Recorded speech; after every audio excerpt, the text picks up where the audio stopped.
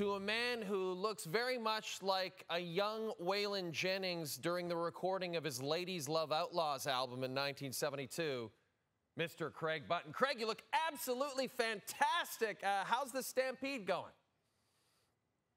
It's going good. Heidi, how y'all doing? Let's talk about. Uh, oh man, I love this outfit on you, buddy. You look amazing. Let's talk about this Sens roster. So you lose DeBrincat, you lose 27 goals off the roster. I know a lot of Sens fans over the last couple of days, Craig, have expressed their disappointment in the return for the DeBrincat trade, but I'm curious to get your thoughts on the team as it stands right now. Do you think this roster is better or worse than they were when they finished up in April? Better, much better. I'm with Mark Methot here. I mean, I don't know what people expect. You know, what type of return you're going to get for Alex DeBrincat. Bottom line, Pierre Dorion took a shot last year to try to improve the team. But despite trading for DeBrincat and, and getting Claude Giroux signed as a free agent, and all the excitement from the Senators fans, I wasn't buying last year because their goaltending wasn't very good and their defense wasn't very good. So let's now go back to why I think they're a better team, a much better team. They have a good goaltender, Korpisalo. So that allows him to come in. They didn't have stability in the net, too many injuries. They traded for Jakob Chychrun at the trade deadline. That solidifies the blue line, takes pressure off of Thomas Chabot.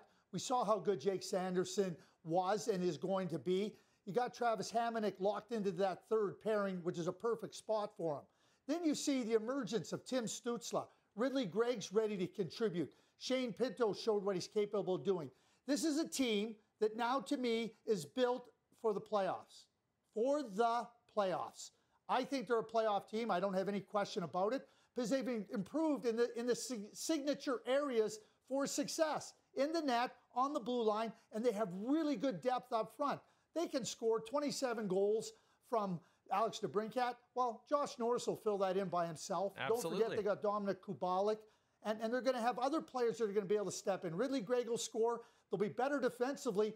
I think the net here is going to be plus 40, maybe even 50 goals in terms of what they don't give up and what they still get scoring. So to me, this is a much better team.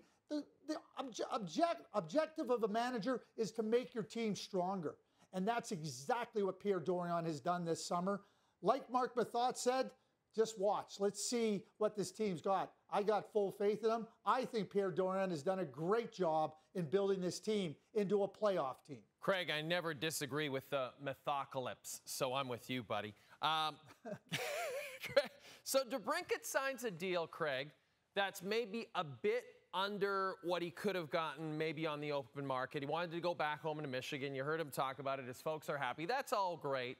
But the important thing on this show is we always have to bring it back to the Maple Leafs. That's just what we do on TSN. So let's talk about Willie. let's talk about Willie Nylander. Um, Willie Nylander and Alex DeBrincat over the course of their careers, Craig, basically identical points per game in the National Hockey League. I know Willie wants 10 million, or that's what Craig, or that's what CJ Chris Johnston is telling us. Um, I know the Leafs would like him closer to eight, but this DeBrincat contract seems like a nice little comparable, doesn't it? Well, it just depends how you want to compare it, right? I mean, if you're William Nylander, it's a four-year deal for Alex DeBrincat. And keep in mind, William Nylander has basically been a second-line player. That's not the case for Alex DeBrincat. He's been a first-line player. The only he scored 40 goals twice in his career. Alex DeBrincat's a good goal scorer. He did that playing with Patrick Kane on the power play. Nobody scored more points in the National Hockey League than Patrick Kane through the, the decade 2010 to 2020. So absolutely Alex DeBrincat benefited from that. And I don't think that William Nylander is a player that can that needs somebody like a Patrick Kane to get to 40 goals. I think that William Nylander can drive a lot of play on his own. And given more of an opportunity, I think that with better players, I think that uh, William Nylander, with the cap going up, I don't think there's anything unreasonable about William Nylander saying, you know what, I want 10, you want to give me eight, maybe nine's a reasonable number. Alex DeBrincat, four-year deal, goes back to Detroit. That's fine. You're, William Nylander is going to be a free agent next summer. So he can look at it and say, what does the free market hold for me? He's young, he can skate, he can shoot, And I think he's more dynamic than Alex DeBrincat. And Alex DeBrincat's not going to a team where he's got a Patrick Kane type player. I think Alex DeBrincat on the sliding scale is a 28 to 36 goal scorer at best. That's where I see him at. Those are important goals. Don't get me wrong, and you need them. William Nylander, to me, he's a 40 goal scorer. And he's a 40 goal scorer because he can drive play on his own. So I have no issue with William Nylander falling in at 9 million. And if he wants 10 with the cap going up next year, he very well may get it. I'm not saying the Leafs should give it to him, but I don't think that Alex DeBrincat signing for what he signed is, is, is one that William Nylander should go, oh, I should be happy with that. I, I, I don't see it that way. Uh, yeah, very rare hometown discount. You don't uh, see it too much these days in the NHL, do you, Craig? How about the uh, how about another team? Well, let me finish on that. Oh, sure, the, go ahead. Yeah, Jay, let me finish on that. William Nylander already gave them a hometown discount on his on the contract he's on now. Yep. So what? He, he has to give them another hometown discount? I don't think so. I agree with you. And by the way, when he signed that contract, everyone thought it was too much money, but it turned out to be he ended up outplaying that contract. Maybe he'll do that again. Do you think the Sens? You think the Sens can make some noise in the Atlantic? I want to talk about another team in the Atlantic, and this is a team that a lot of people, Craig, are talking about as a team that might be the next one to make the next big step as a Stanley Cup contender, and that is the Buffalo Sabres. Dylan Cozens, Tage Thompson, the Dalai Lama, Owen Power looked great last year. This is a team that's coming, Craig. But I know you've talked about it and you agree, but you feel that there may be an elite goaltender short. There are a couple of elite goaltenders out there. There's certainly a Vezina winning goaltender out there and Connor Hellebuyck. Depending on how you feel about John Gibson, terrific goaltender. We know Carter Hart may or may not have been available earlier this offseason. Perhaps Danny Briere might part with them for the right deal. Is there a particular goaltender that you feel that Kevyn Adams should go out and try to get and try to solidify this roster? He's got lots of cap space. Yes, he's got Devon Levi, a good, promising goaltender. He's got Ukko-Pekka Luukkonen, UPL, who's who's got some promise. But this is a team that I feel, with a goaltender, can move right into the playoffs. And and I think they could be like this year's New Jersey Devils with respect to moving right up to the, uh, the standings in the Eastern Conference and being a contender. And you look at where they're they're short. They're short in the net, and you know, where the Ottawa Senators improved themselves was significant. And I think for Buffalo to take that step, that's what they're going to have to do. Absolutely, they need a better goaltender in the net, somebody more ready than Devon Levi or Ukko-Pekka And when you consider how good and how, and how they're built, now, John Gibson has four years left on a contract that's so reasonable and so good. What's the cost to get that type of goaltender from the Anaheim Ducks? I mean, I think the Buffalo Sabres have a lot of prospects, and and they could certainly uh, entertain uh, what the uh, what the ask is from the Anaheim Ducks. Connor Hellebuyck's a different animal. Connor Hellebuyck, you know, with the unrestricted free agency next summer, what does he what does he command in terms of a long-term contract? I don't think you're just taking them for one year and giving up players. But both goaltenders, Gibson and Hellebuyck, to me, move the Buffalo Sabres into the playoffs, moves them into the playoffs. If they don't get that goaltender, that level of goaltender, or somewhat close to that level of goaltender, I think the Buffalo Sabres very well could be fighting down the stretch and maybe just falling short again because the goaltending and the teams in, in the East have good goaltending and, and they're strong. And I think the New Jersey Devils are another team that have to go find a goaltender. Yeah. It's interesting to me that you could have Buffalo and New Jersey vying for the same exact two goaltenders, John Gibson and Connor Hellebuyck.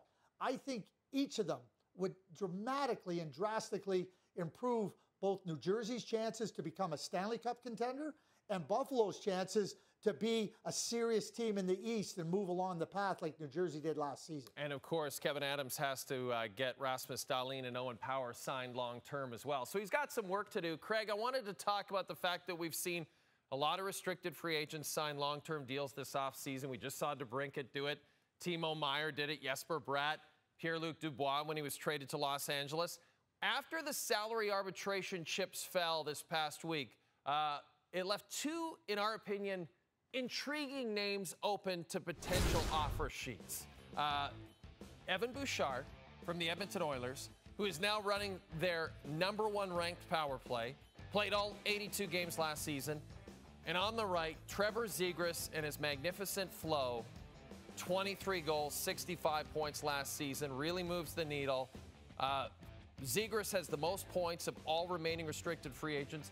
Craig, the Ducks have, and you alluded to it, the Ducks have a lot of cap space. An, off, an offer sheet, Pat, Patty Verbeek's probably going to match that in a second with no hesitation. Edmonton has only five million in space as we speak right now. Is now the time, Craig, for a team out there that needs a power play quarterback, a very young one, to go out and throw an offer sheet down on Evan Bouchard? Yeah, everybody wants to throw out these offer sheets, but the whole idea of an offer sheet is to acquire a player. And offer sheets, uh, with the idea of acquiring the player, ha- have magnificently failed. Uh, yeah, if your name's Dustin Penner, you succeeded in getting him if you're the Edmonton Oilers. And I'll, I'll tell you that. Do you know the name Sean Gagnon? You know that name, Jay? Sean Gagnon? Yeah. Do you know? You, you, do you know the name? We were in Dallas. We put an offer sheet in on Sean Gagnon and we couldn't get him. We couldn't get Sean Gagnon because the Arizona Phoenix Coyotes said, no, we're matching it. As a tool to acquire players, it hasn't, it hasn't been lucrative. You have to pay so much to get the player for a team not to match it. And you talk about $5 million for the Edmonton Oilers in terms of cap space. Well, you, you can look at where Ken Holland is looking to sign him, but you can go 10% over the salary cap in the summer, which gives him an opportunity to go and be able to, you know, trade a player if, if he's got a matching offer sheet. The Edmonton Oilers are in a situation where they're trying to move ahead. They saw how good Evan Bouchard could be playing alongside Mattias Ekholm. It was a really nice pairing. Ken Holland's not letting him go. I don't care if he's got $5 million. Joe Sakic had an offer sheet. He didn't go anywhere. Keith Tkachuk had an offer sheet. He didn't go anywhere. Yeah. There, has been so many of these over time. Thomas Vanek, offer sheet, didn't go anywhere. And at the end of it all, well, it's well, there's this idea and the romantic idea of acquiring a player like Evan Bouchard. You're going to have to overpay so much to get him and to not allow the, the Edmonton Oilers to match that, that it doesn't make sense. It doesn't make sense because now you're paying somebody way more than the value they're, they're distributing. Trevor Zegras to me is a different animal. Right. Trevor Zegras is a young player, and to me, that's the guy. If I was going to go try to make an offer sheet and try to improve my team, and I had cap space, that's the guy I'd go after. That, and I'd go after him hard. And when you consider what he's been able to do to, at this early part of his NHL career, I know the Anaheim Ducks have a lot of cap space, but you you want to you want to make them pay to keep him. Mm-hmm. There's a place that I would be very interested because I think that Trevor Zegras could do exactly what Tim Stutzle did last year. He could jump to that 90 95 point range, and what does that pay in the NHL? That's a 10 million dollar player. And I, let me just touch on that very quickly, Craig, because they're already marketing, and when I say they, the NHL, Trevor Zegras is an American player. He's got a big personality. He's already on the front of video games he's already got all this marketability and he hasn't really even reached his potential as a player yet, as you've alluded to. You know it's probably coming, you know he's about to make the leap.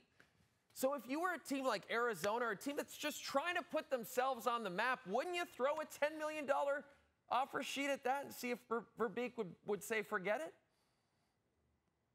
You know where I'd do it? I'd do it if I was the Chicago Blackhawks. Yes. Lots of cap space, lots of promise. You got Connor Bedard. Oh yeah. I'd go right after Trevor Zegras. I, I love it. you know, Arizona has lots of good young players, but that's where I'd be going. I'd be going like I'd be sitting there going, how do we get Trevor Zegras, young young player that's ready to, to, to I think explode? And you're right, the marketability is, is fantastic, which is just an add-on to the on ice brilliance.